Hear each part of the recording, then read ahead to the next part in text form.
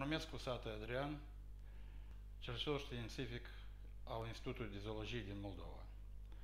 Doresc să vă prezint uh, ghid din partea autor, echipei de autori, uh, ghid uh, recent ieșit din tipar, cu titlul Bunele practici în piscicultură în contextul schimbărilor climatice.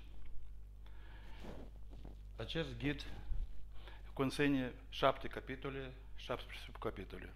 Conține mult, fotografii, tabele și scheme. În acest ghid sunt reflectate minusos metode și tehnologii aplicabile în dezvoltarea din domeniul pisciculturii și acvaculturii moderne din Moldova, mai, mai, mai principal în gospodăriile piscicole. Condițiile economice actuale, distrugerea și diminuarea fondului piscicol, schimbările climatice globale au redus considerabil producția de pește în heliștei, iazuri și lacuri.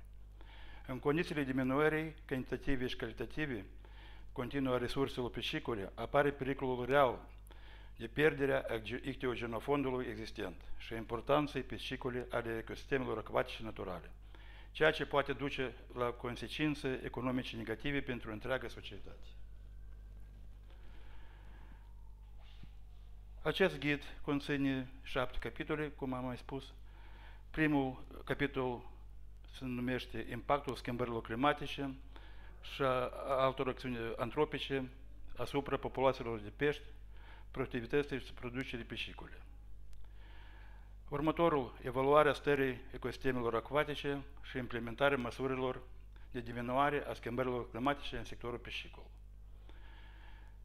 În următ- a treilea capitol se, mai mult se atrage atenția calității apei și măsurile de prevenire asfixierii planctonului și a peștelui. În a patrulea capitol sunt descrise bazinele acvatice, heliștele și sistemele de creștere a peștelui. În a cincilea capitol sunt descrise mai, mai, mai, mai minuțios speciile de pești și reproducerea lor.